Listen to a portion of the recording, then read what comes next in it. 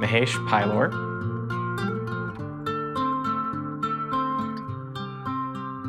I grew up in uh, Maine, in the southern part of Maine. My parents are from India, but they immigrated here in the late 60s. When I was really young, I think I wanted to be an inventor, whatever that meant.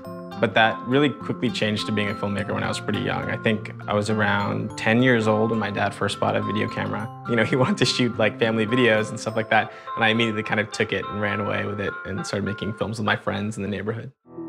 When you're in film school, you always hear this adage, which is, you know, write what you know. And it comes from something because, you know, what you know becomes very specific. And the more specific you are, sometimes even more universal. Being a filmmaker, an independent filmmaker in Los Angeles, you're kind of stretching a budget most of the time. So uh, when I saw the uh, competition and I saw that there was, you know, a pretty decent prize from Best Buy, that was like a nice reason to try to do something for it. The ordinary creative person in the video is my dad. I like to shoot video of what I see. It's the sort of my diary. What inspires me is the beauty of nature. You don't get more, you know, specific or personal than that. It's my own dad and his own personal story. As a 68-year-old Indian living in Maine who wants to engage, who wants to be part of, you know, an online community, who wants to get his videos out there. I want to upload my videos so that uh, I can interact with other people. I'm not uh, that much technical savvy. this brand can help him do that. It's that missing link. He's someone that really experiences life differently than I do, and I really appreciate that, and I love hearing his stories.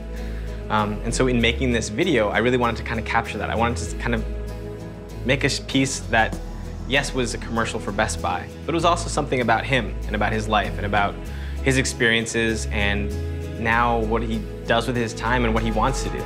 He was kind of like the perfect subject.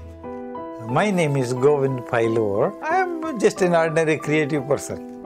I think everyone is a creative individual. You know, I don't think my dad's just an ordinary creative person. I think, you know, he's one of, you know, many people are, and everyone is. No one sees the world the same way as someone else. That's where I think that creativity comes from. And I think it comes from personal experience and then getting it out there, telling some story, taking some image, or creating some piece of music, whatever it may be.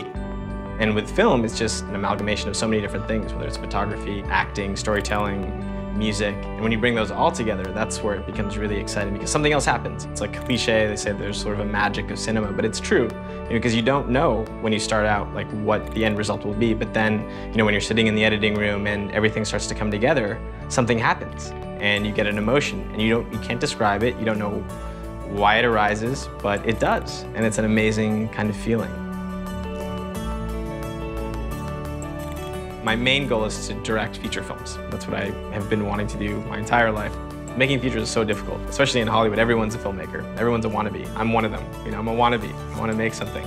Um, and so in actually making it, that's like the big, the big challenge. And I hope so. I hope to be able to make one. We'll see.